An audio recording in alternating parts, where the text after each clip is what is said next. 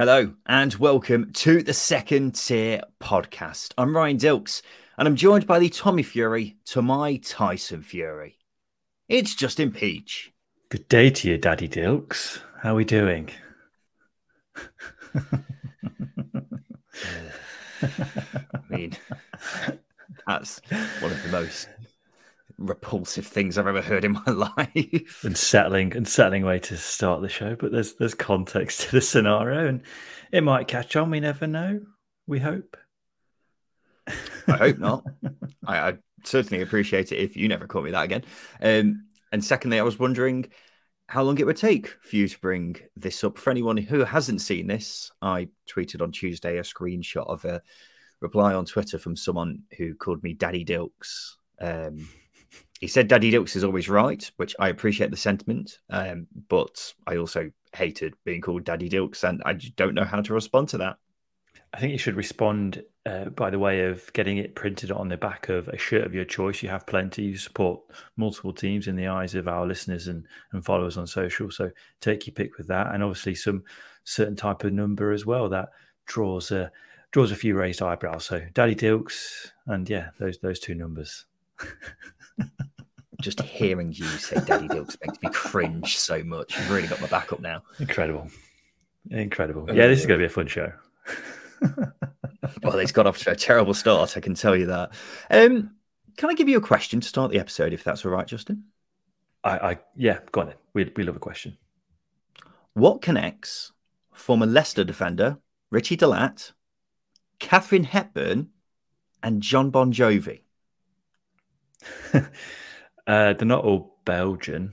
Um, they uh, they had they all once set foot in Leicester at some point in their lifetime. I tell you what, it's a good guess. Really? Unfortunately, it's not right. The answer is absolutely fuck all. Okay, great. I thought there was going to be something interesting there. I was, you had I me just... hooked I just really wanted to see what you could come up with on the spot in a, such a short period of time. Uh, and the idea of Katharine Hepburn stepping foot into Leicester, I just don't think would have ever happened. I don't even know who Katharine Hepburn is. I was, I was on a whim there. She's a very famous, iconic like actor from the golden period of uh, the 50s and 60s, I think. You about Audrey Hepburn? Who's Katharine Hepburn? Yeah, I'm no thinking idea. of Audrey Hepburn. Who's Katharine Hepburn? right, I'll put it up in your face, no. isn't it? Great. oh dear.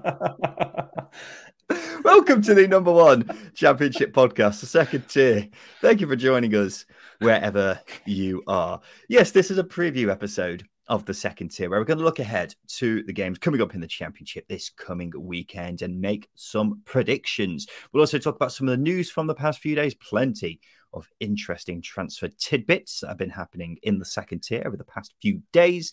Then we'll finish off with Scott High or Ryan Lowe right at the end of the show. So let's have a look ahead to the weekend. So in each preview episode of the second tier, Justin and I each pick a banker, a team we think is guaranteed to win this coming weekend, as well as an outsider. So someone we think is going to win, but is bigger odds with the bookies than their opponent. We're tracking how we do as the season goes on. One point for a correct banker, two points for an outsider. Whoever loses has to do a forfeit, which will be a CrossFit workout for myself, while Justin has to do a coach trip from Sunderland to Plymouth and back, which we figured out last week is something like 48 hours long, which is going to be fun. And that's not even taken into account Justin having to go from Derby to Sunderland. Um, the current scores are 4 3 to myself. Justin and I each got our bankers correct last weekend, but not our outsiders. So just a one point gap still separates the two of us. Justin Peach, who is your banker for the weekend? I'm on a roll at the moment. I think I've got two in a row. So let's, let's make it three. We got two. No, I've, I've gone with. Haven't. No, I haven't. No, you haven't. I'm not on a roll. Got your outsider right on the first weekend. well, I've got some of my predictions right, which is more than I could say about last year.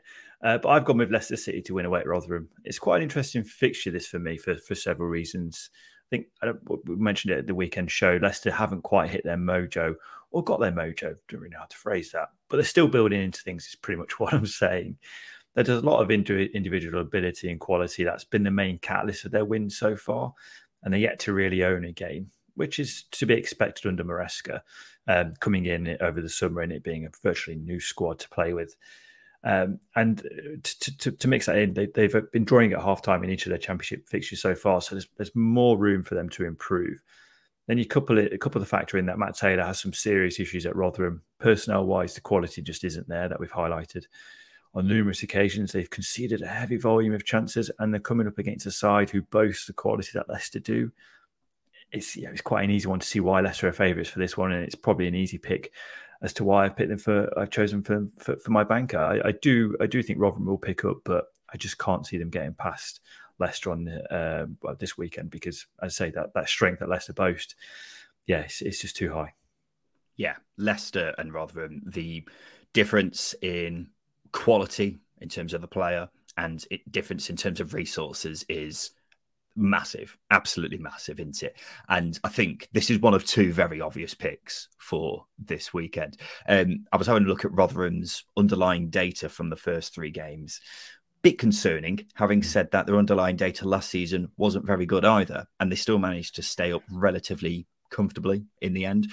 So maybe we shouldn't get too dragged down in it, but I don't think they've had the greatest of starts, even though sending offs haven't helped with that. Um, but yeah, it's very hard to disagree with you on this one, Justin. I've gone for the other um, pretty obvious banker for the weekend. Um, I will say just before we start, uh, Audrey Hepburn and Katharine Hepburn, both actresses from the same period. Not sure if they're related, but I wasn't getting the two mixed up from the sounds of it. um,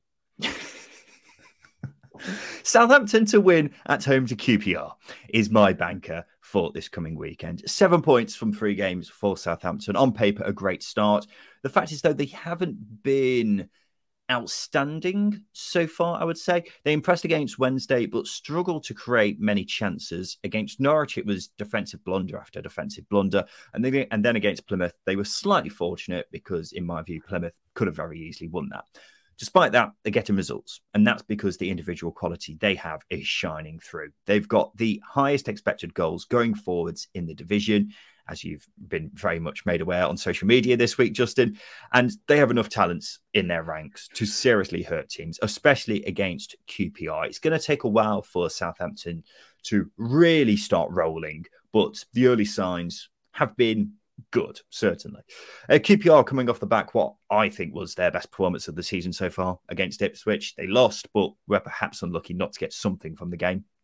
Despite that, they're not a match for Southampton. There's a chance we could see a championship record for possession in this game. Two teams with vastly contrasting styles. Southampton like to play the possession game. QPR don't. And I honestly would not be surprised to see something like 85% possession to Southampton here and see all sorts of passing records um, thrown out the window by this game. Um, but whatever the case, I fancy a Southampton win. I just think, even though the performances haven't been incredible so far, they're still getting results on the board. Their, their, their attacking quality is just proving too much for teams. And I just think when you compare the two squads in this particular game, then Southampton are a much superior side to QPR. I, I agree that Southampton are a much superior side to QPR, but I, I disagree. Based on a lot of the research I've done to back up some of my points to those Southampton fans disagreeing with the notion that I just don't think Southampton have been that great so far this season. I I I'm going to go straight in there. I'm picking QPR as my outside uh, uh, outsider for this weekend. Wow. I think QPR's strengths are going to really play into Southampton's weaknesses here. And I don't think you've given QPR quite enough credit this season, which is you know you do you Ryan, but Gareth Ainsworth with his tight jeans, cowboy boots, he's going to be licking his lips this weekend and ready to give you a middle finger as soon as he pulls off this one 0 win that I think they're going to pull off against against Southampton. Don't think that will happen, but here's hoping. Um, I've I've I've been made well not made made aware. Southampton's attacking stats they speak for themselves, but defensively, defensive transitions being countered against is a major, major weakness for Southampton. And there's no way Gareth Ainsworth is not going to set up his side up to, to exploit those weaknesses. You've got to give him credit.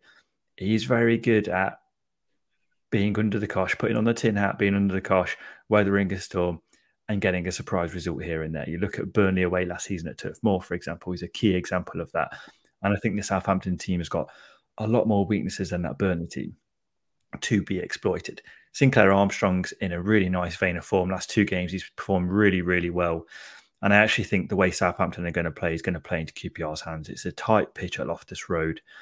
The fans are going to be on. Uh, the fans are the fans are going to be up for it. And the type we'll of football point out there, it's not like, like, it's not Loftus Road for a start. What is it? It's at St Mary's. Is it? It yes. is at St Mary's.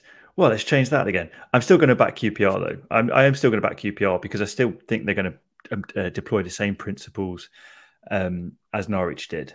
Uh, I don't think the home home factor is going to play into this for QPR at all. But as I say, defending set pieces as well. So that Southampton completely completely hopeless, and I think QPR, Gareth Ainsworth, his team's going to be is they're going to be up for this one they might be up for it, Justin, but I just don't think the technical quality between the two is even comparable.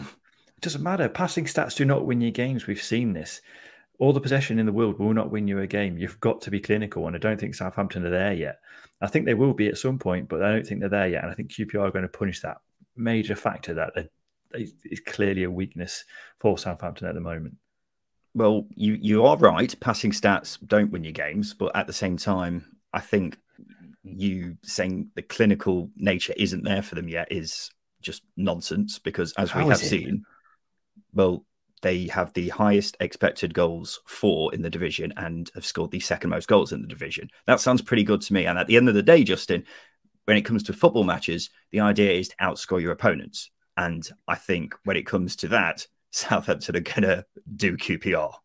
For all the chances Southampton have been creating, they've not been putting them away. To narrowly beat Sheffield Wednesday 2 1 isn't uh, indicative of that a massive amount of chances they created during that game. Failed to overcome Norwich despite creating a shed load of chances, and only just scraped through against Plymouth despite creating a shed load of chances. That's not being clinical. And as I say, I think this QPR team is going to weather that storm. They're going to hit Southampton on the break. Based on what? Based on the way Gareth Ainsworth has always set up his teams, based on the fact that Sinclair Armstrong is in a really good uh, uh, run of form, they did the same thing against Cardiff. I know it's Cardiff, and I know it's a different opponent. That was a very different game, very yeah, different game because Cardiff, even though they had loads of possession in that, and QPR were happy to let them have possession, they had no cutting edge whatsoever. Southampton have shown that they do. They, they haven't though. They absolutely haven't shown. Well, that. they have because they haven't won two games and drawn one and scored they four have. goals in the one that they drawn. I, I don't think they've shown that they've got a cutting edge just yet, and I think this is going to be got the second those... most goals in the division. That sounds like a cutting edge, Justin. If they've got the, the highest expected goals for in the division. That oh, sounds like a cutting edge. We can all. I I don't think it is. They might be creating those chances, How is but not? I don't think they're putting them away because they're not putting their opposition away, and they give opposition chances. And QPR will take them. They are desperate for goals and points. They will take them. I will fully accept that Southampton have been very shaky defensively. But at the end of the day, as I say, the aim is to score more goals than your opponent. And Southampton have been doing that fine this season so far. Three games in, but still.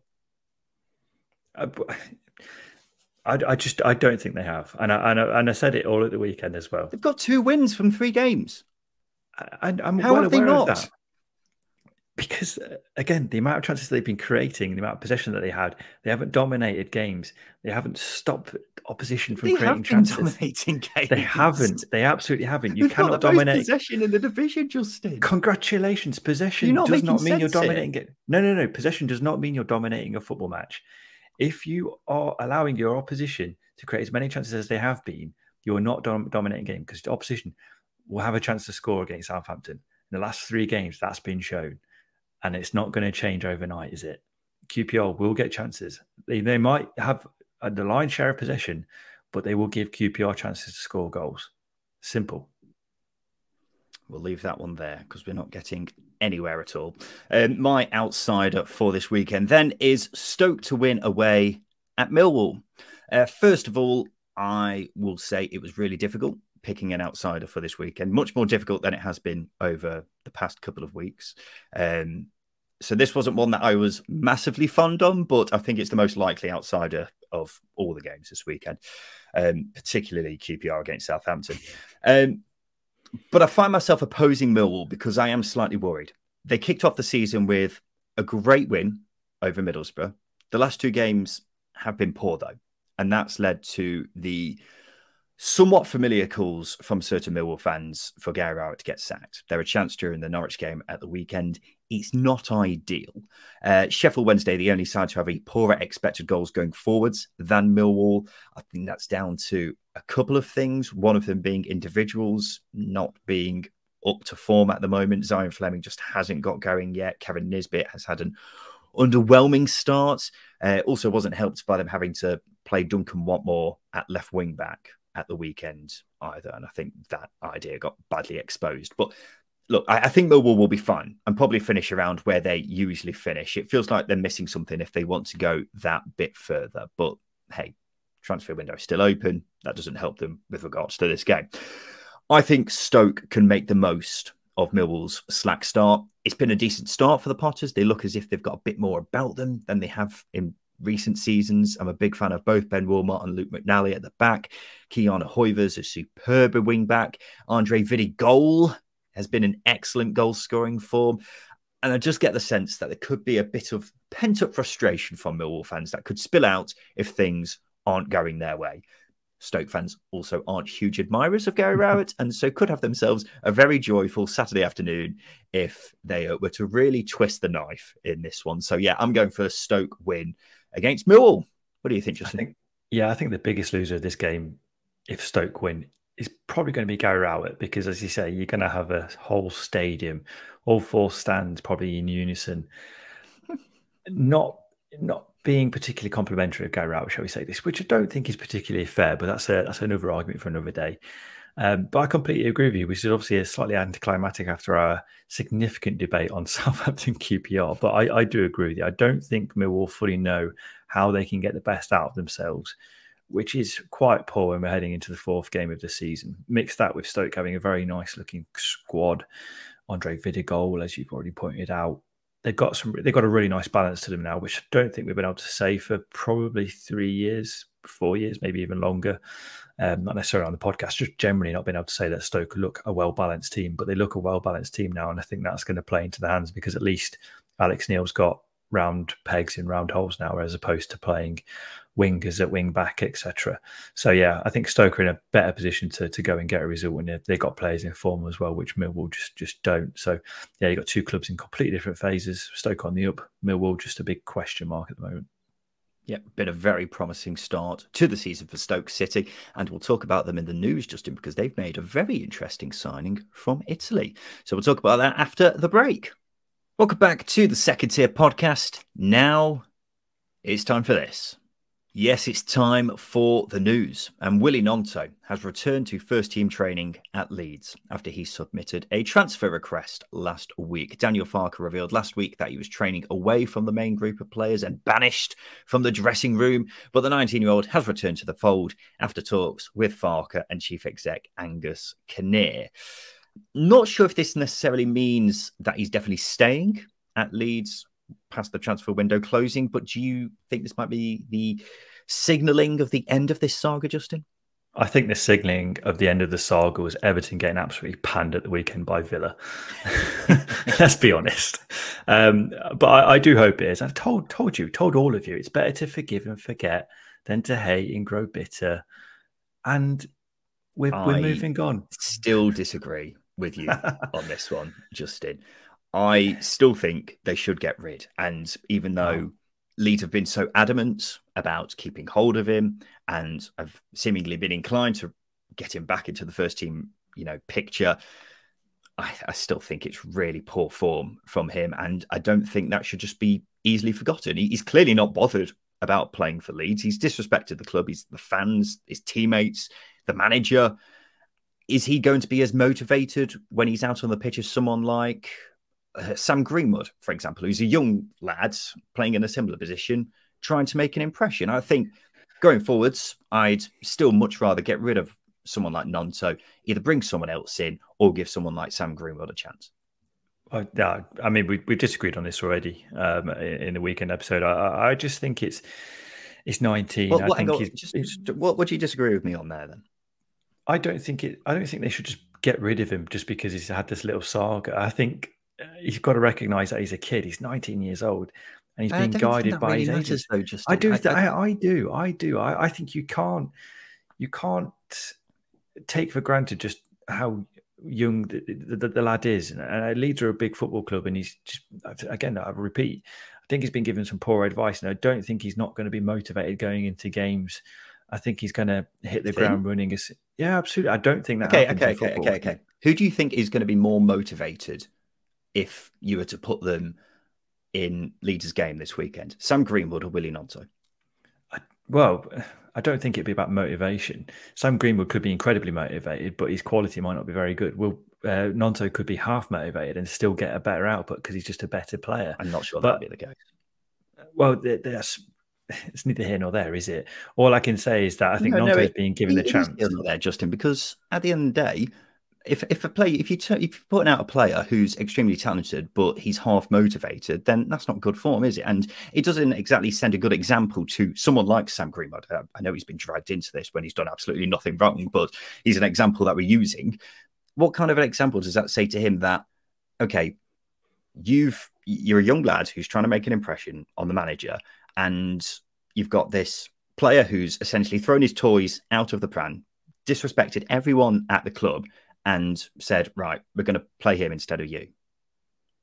I don't think that's going to be the case. I think Gnonto is just going to be eased eased into things because he's got to deal with the crowd. But this is the thing about football. Gnonto puts in three performances, scores three match winning goals. Everybody forgets within a couple of weeks. That's just how it is. Um, and if it earns him a move in January that everybody's happy with, because that's the key thing here. If if Leeds are willing to sell, then then Gnonto goes. It's as simple as that. If they're not, then he stays.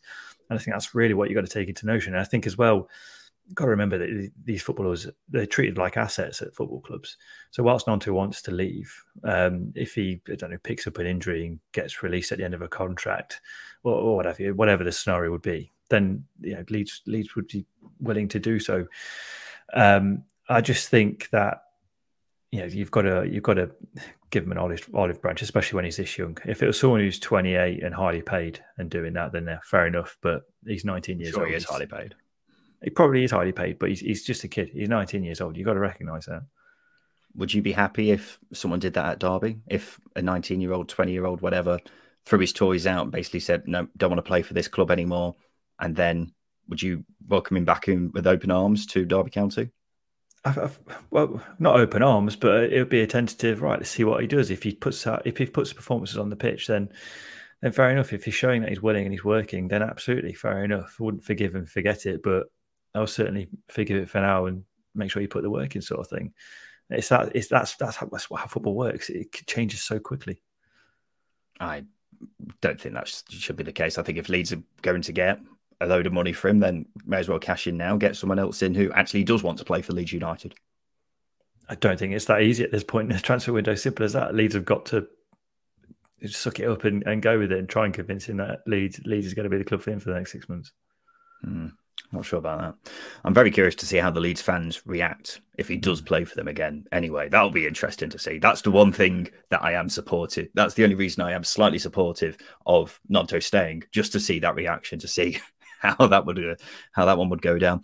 Ipswich are set to sign Manchester United defender Brandon Williams, according to numerous sources. It's a loan with a buy option. Quite an exciting move. This. My initial thought when I saw this move was, why are Ipswich signing a left back? They've got Leif Davis, who's one of the best in the division for my money, but he's actually right-footed. Is Williams and was originally he was initially a right back when he was first coming through at Man United. It wasn't until a coach told him, "Why don't you ever go at left back?" Then he started playing there. Can you guess who that coach was, Justin? Was it Kieran McKenna? It was Kieran McKenna. Yeah, absolutely right. Um, and it seems like when you look at Ipswich's starting 11s from the first few weeks of the season, that there's quite an obvious gap in that Ipswich team at right back. And that's where I imagine Brandon Williams will go. Yes. I, it is a bit of a left field one. I think he's going to be probably more of a versatile squad option, giving Ipswich the depth that right wing back really? and left wing back. Yeah, I he's not played. He played one game last season and had a really poor loan spell at Norwich the season before, albeit Premier hang League on, top hang flight. Hang on, hang on. really poor loan spell. He won. He came third in their Player of the Season award. I'm just going by what Norwich fans have said on social. To be fair, but Well, Justin, come on now. Surely, surely you're not that naive. He's just gone yeah, to there's, yeah. There's rivals. a bit of bias there. that definitely plays into it. That being said, he's he's not. He played one game last season. So that that's still that's still a that, that was down to injury, though. Let's just make that clear as well. Yeah, absolutely. Um, but it takes time to, to get back to it. So to expect him to be an automatic starter, I think is, yeah, probably naive, as you say. Leif Davis is the attacking element of Ipswich's wing backs, and then you've got Harry Clarke on the other side, who's a who's a more defen- defensive option. That's you know quite a bit of balance. So I do think Brandon Williams isn't going to be an automatic starter. It's, he's going to have to show his worth in that team. I don't think you can expect him to oust someone as good as Leif Davis and, and someone as solid as Harry Clarke straight away. I'm I'm not sure about that at all, Justin. We're talking about someone who's 22 and has played nearly 50 games in the Premier League. So he's he's clearly a very talented boy. Yeah, that might be the case, but as I say, he's got a lot of football to catch up on. A lot of football to catch up on, and uh, certainly a lot to prove as well, considering. Well, I wouldn't say just some speculative, poor uh, decision making on social media, um, which is which was he was reprimanded for uh, by United. But I think he's got a lot to What's prove. that got to do with anything? It, it just comes across as a Well, well, a Justin, may I remind you, he's young. We've got to forgive them for these kind of things. He's such a dick. Using that against me already. Look, no, you're look, right. You're uh, absolutely right. You're absolutely right. But he's got time to he's play. a really well he's a really talented player i really rate him and if you look at his underlying data from his time at norwich really impressive for someone who was only 20 at the time and if you take a more balanced view of it and look at what norwich journalists were saying at the time and ignore what fans are saying now then they were talking really highly about him and i think that's a, a better way of looking at how brandon williams did at norwich than looking at what the fans are saying about him now defensively he's great was also really good at carrying the ball forwards last season didn't go out on loan. He was injured for virtually half the season, and then you know getting in at Man United was always going to be a struggle. But Ipswich getting getting him in potentially permanently as well. He's really exciting. Leif Davis one side, Williams on the other, really whets the appetite for me. And I now look at that Ipswich team, and as I was just saying at the weekend, they need a defender and another attacker. Here's that defender. Get another attacker. It's difficult to pick a weakness in that Ipswich side for me. I completely agree. That there, there are very few weaknesses, and uh, Brandon Williams is certainly going to add to the depth of the squad uh, and quality overall. Uh, it's a very tidy looking squad. Maybe need another forward. I think I said this the other day. Need another forward, but overall, yeah, McKenna's cooking something very, very nice. Yes, as I've been saying. Um, Southampton have signed midfielder Flynn Downes on loan from West Ham until the end of the season. I will point out that I said this time last year that I didn't think he was ready for the Premier League. Looks like I was right. It's not to say he isn't a talented player, and he could be a great signing for Southampton, I think. I completely agree. Uh, just to add to that, to say he's a ready, ready replacement for Declan Rice is quite mad from some Swansea fans, considering that Declan Rice was a world class player. I'll just add that in there. Uh, but he's certainly got a hell of a lot of potential. And I think another season in the Championship is going to serve him well, especially a team that is going to be pushing for the top six. Spoke at length about Southampton's frailties uh, promotion, I should say. Spoke at length about Southampton's frailties defensively. Flynn Downes is going to remedy that. Maybe not quickly, but he's going to remedy that. Remedy that in the long term. He's a tidy passer, likes to get the ball into the final third as well. Got all the uh, all the all the ingredients you need as a uh, as a central defensive midfielder who likes to play play through the third. So yeah, it's a it's a really good signing. I couldn't see if it was with a view to a permanent though. I'd be surprised if it wasn't. I think it's just a loan. I think. Well, Um, go on. I was going to say, but it might be that ready-made replacement for Rice, but yeah, it would be daft for West Ham to allow him to to go out with a view to a permanent because he's a top he's a top top talent. Yeah, well, he, he possibly would get more game time now if Declan Rice had left West Ham last season, and he could still be the long term successor. But he now needs to show what he can do during this loan. Uh, I think he's a very intelligent player for someone who's still fairly young at 24, very good at reading the game, winning the ball back, finding a teammate, gives their midfield a bit more balance at Southampton. I say that because when everyone's fit, I imagine Russell Martin's first choice midfield will be Stuart Armstrong, Carlos Alcaraz.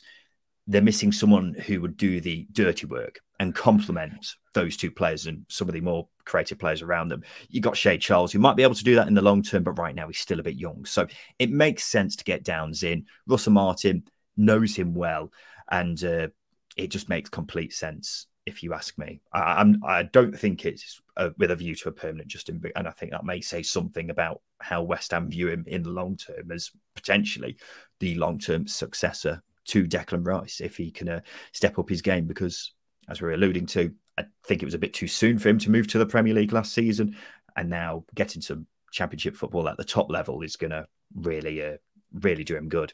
I'm also quite enjoying, by the way, Russell Martin making Southampton into a Swansea 2.0. Flynn Downes coming in, Ryan Manning's already there, Nathan Wood's been linked, as has Joel Piroe. Really is just cherry picking the best of Swansea for the past couple of years, isn't he? Yeah, mid-table Swansea team. it doesn't. Yeah, if I'm if I'm going to be sceptical there and, and, and a bit of a cynic, well, let's be honest.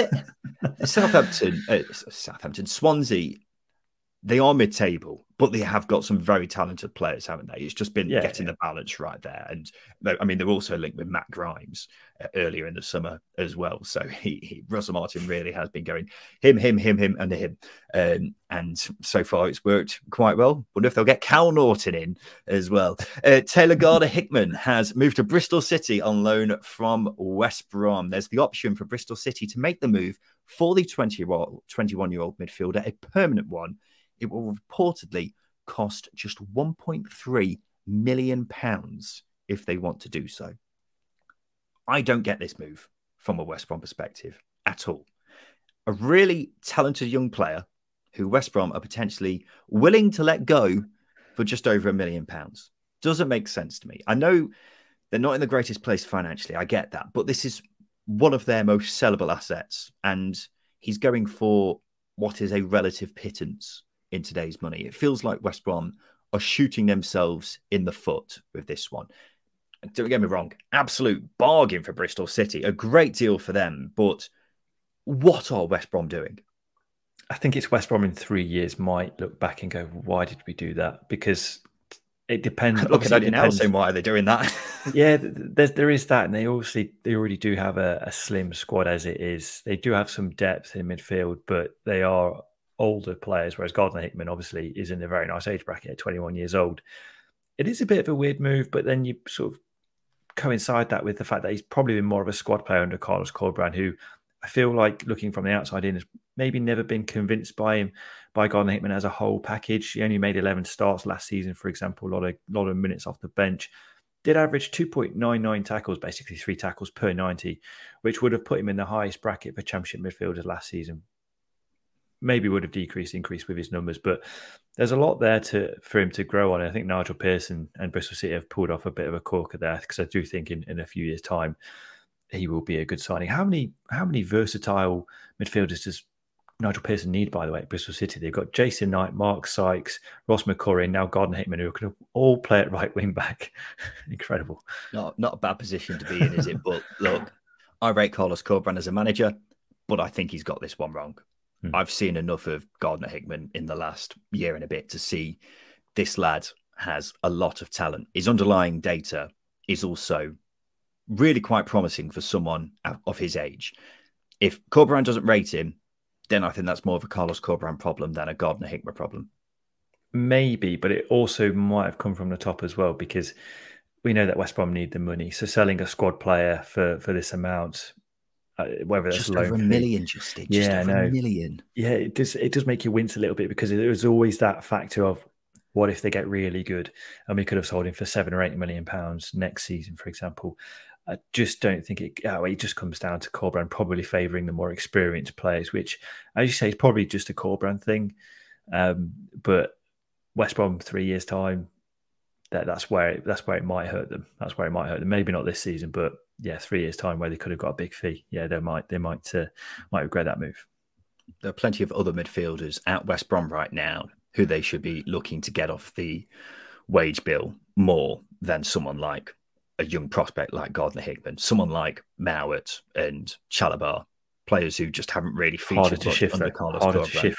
Harder to shift, I accept, but still, you, you should be looking to get rid of them instead of selling players who ultimately could be worth five times the price that they're potentially getting rid of uh, them for now. Doesn't make sense to me. Stoke have signed Algeria international Mehdi Leris for an undisclosed fee from Sampdoria. The 25 year old made 29 starts in Serie A last season, but Samp did finish bottom of the league. He's traditionally a winger, but was playing as a wing back last season. Some of his teammates from last season, Justin Fabio Quagliarella, Manolo Gabbiadini, Jesse Rodriguez, that's the mad one who used to play for PSG and Real Madrid. and of course, Harry Winks. Just thought I'd let you in on that because I enjoyed it thoroughly. Um, Leris looks a very interesting signing, doesn't he? Because mm-hmm. I assume he won't be playing at wing back because it seems like Ki-Jana Hoever has that one nailed down. But yeah, from what I've read, looks very interesting. It does. I know absolutely nothing about him, but I read that he's six foot one and I looked at his aerial stats, which were the highest bracket for mm. uh, right-sided players in in Serie A. And at 25, he's a really nice age bracket as well. So, in my eyes, th- I'm thinking Mark Travers get the ball, hoist it to the right hand side. Leris beats the left wing back to the header, flicks it on for this, Tyrese Campbell. This is why you're such a Gareth Ainsworth fanboy all of a sudden. yeah, I've got my cowboy boots on as well as we record. Hair's growing out long and I'm going to dye it too.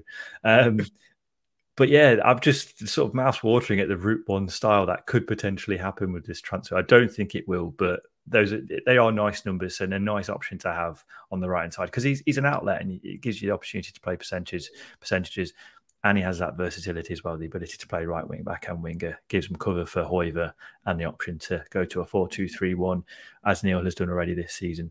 So, yeah, it's, it's a really interesting signing. I really want to see how this one plays out. Might even go and see him, just become a Leris fanboy just because he's a six foot one winger, which you don't get often enough now. Did you ever get it? I'm trying to think of, I mean, Thierry Henry, if you could class him as a as a winger, because he was a bit of an inside forward. He was six foot one they're, they're very rare. I mean, uh, any Stoke players as well that were during the Tony, Tony Pulis era, they must have been six foot plus. They weren't. No, they weren't very tall, though, were they? I think you're looking at like Mario Mandzukic as the ideal uh, hmm. example of a wide target man, to use a football manager term. Um, but look, I, I, was looking at his underlying data from last season. Looks impressive, despite him playing in a Sampdoria team which only got 19 points all season it seems like he was one of the standout players for them. So perhaps a bit unlucky that he didn't get a move to another Serie A side. And as far as right sided players go, he was certainly in the top half of you know top half performing right sided players.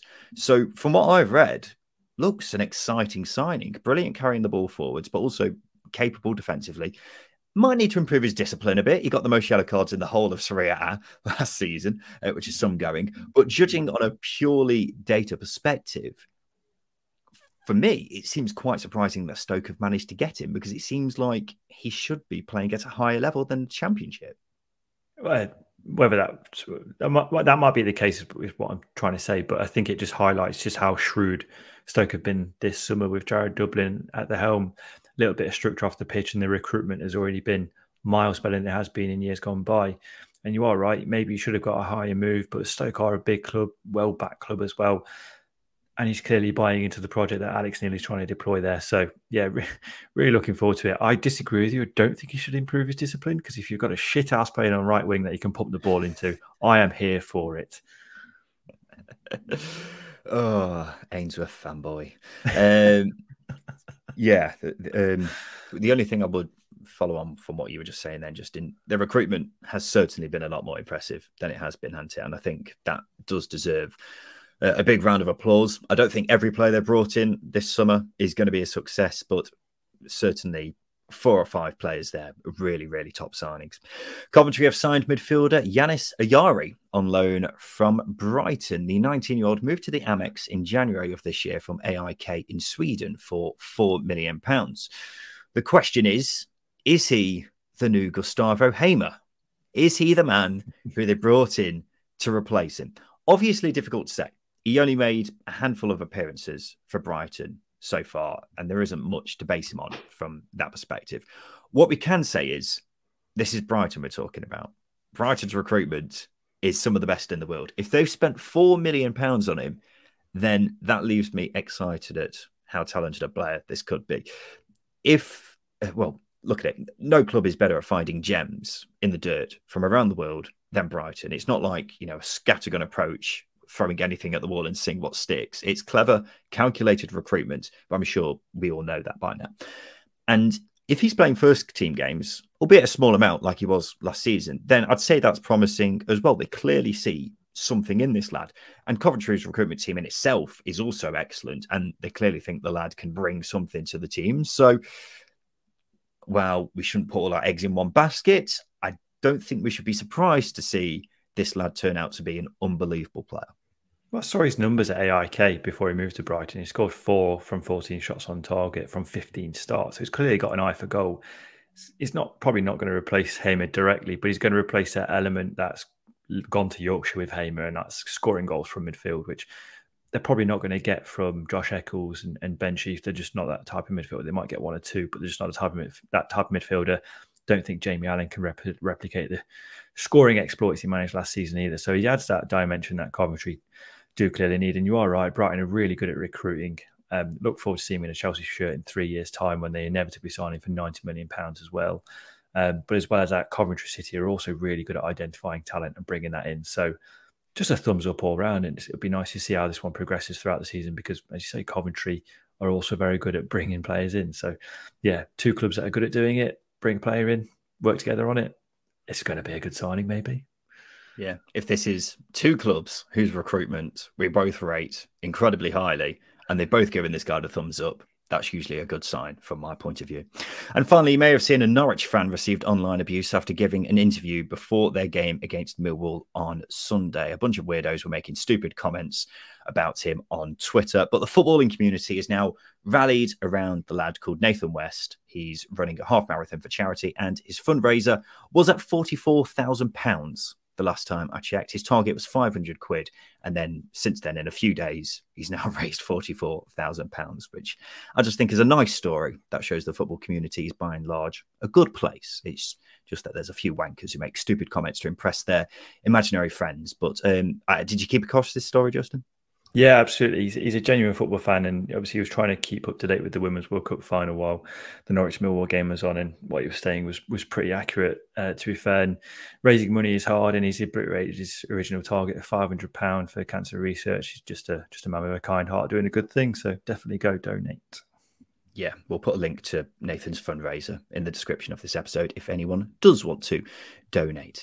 Right now, it's time for this. Scott High or Ryan Lowe. Neil Best is fucking shit, mate. Yes, it's time for Scott High or Ryan Lowe. This is a game where we have to rank four things from highest to lowest. Simple as that. There's three questions. This week, Justin, I'll be providing the questions for you. Are you ready, Peachy Boy? Absolutely. I'm not going to kick off like you do every week, so let's go. I don't kick off with this because I think this game is just absolutely fine. It's just when you give me stupid questions and Simon Grayson take for late, uh, or Simon Grayson gives me stupid questions. And um, first question is this: rank these four players on which one has had the most loan spells while on loan from Chelsea. Hmm. Those players are Lewis Baker, Patrick Bamford, Ryan Bertrand, and Scott Sinclair. Ooh, he's a good. Pat Bamford, uh, Ryan Burt, Scott Sinclair. Uh, I'm going to go in hot. I'm going to go Scott Sinclair top, then Lewis Baker, then Pat Bamford, then Ryan Bertrand. I mean, you're not far off, but you've also oh. butchered it. Oh, okay. So what you've done is you've got Bertrand and Sinclair the wrong way round.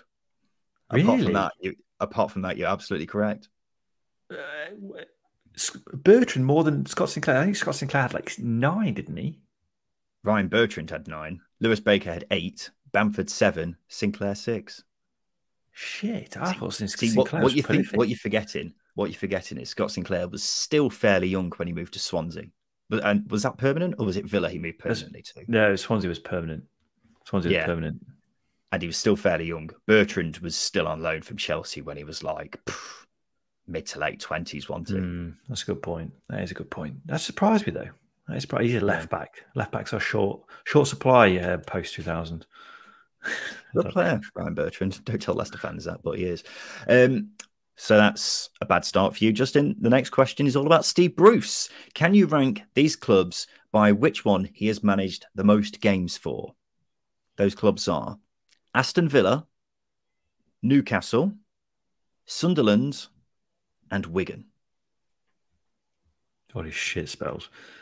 There are many. Um, Villa, Newcastle, Sunderland, Wigan. Uh, you say managed most games for? Yes. So most Um, games managed at the top. He was at Wigan for a season because Sunderland paid. No, Wigan. pa- I saw paid like a world record fee for or, or English record fee. Um, so Wigan at bottom, then Villa, then Newcastle, then Sunderland. No, no. Hmm. You, you were right about Wigan. They were bottom with 68 games. Aston Villa were top with 102 games. Then Sunderland, 98 games. Newcastle, 97 games. And then it was Wigan with 68. Oh, it's- his career's just been ruined by a cabbage, hasn't it? it really bear that in mind. Yeah. Just going, just going back to that. Then it literally has just been ruined by cabbage. Yeah. Incredible. Cabbage head. Final question is this Rank these chocolate bars on which one has the most calories. Those chocolate Okay. bars are Kit Kat Chunky, Ripple, Snickers, and Twirl. Snickers, uh, it's got caramel, nougat, and nuts in. The nuts are quite fatty, so I'm going to go Snickers top, then a Kit Kat chunky, a lot of wafer in there. Uh, then no, actually, I'm going to go Snickers top, then a Ripple, then a Twirl, then a Kit Kat chunky. Oh, you're close. Oh You're my close, God. bud. Yeah. You've uh, you've made a, a bit of a clanger at the end again. Snickers, you were right, top 248 calories. Twirl was second with 228. Kit Kat Chunky was third with 207 calories. Then Ripple was 174 calories. Is that it? Yeah. I think Incredible. you have got to take into account that the Ripple's just one long bar. So I suppose, Yeah, yeah. yeah, But then in terms of Twirl's weight, two fingers though, yeah, exactly. which is just one. Uh, just make one bar. Yeah, but Twirl is also a bit more condensed, isn't it? I don't. Well, I, but I suppose Galaxy Ripple, you, you pay for a lot of air inside that chocolate. Yeah, there is quite a lot of air, but they are so bloody good. I love a good Ripple. Oh, we can tell. chocolate? You can tell. Uh, not very often, though. no, Bit boring, no. me. Bit boring. bloody vegan. Uh, there we go, ladies and gentlemen. That's been Scott High or Ryan Lowe. This has been the second tier podcast. Uh, we'll be back again on Sunday to go through all the games in the championship this coming weekend. And tell you what, I can't bloody wait. So we look forward to seeing you then. This has been the second tier podcast. I've been Ryan Dilks, I've been Justin Peach. and a big thank you for listening.